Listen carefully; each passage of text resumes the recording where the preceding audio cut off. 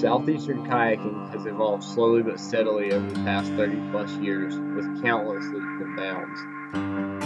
Many have come and gone, leaving their mark on the paddling community by exploring rivers and creeks, posting record race times, and snagging first descent. Equipment improves, techniques change, people come and go. One thing is certain Today, in 2018, kayakers all stand on the shoulders of giants, allowing us to reach the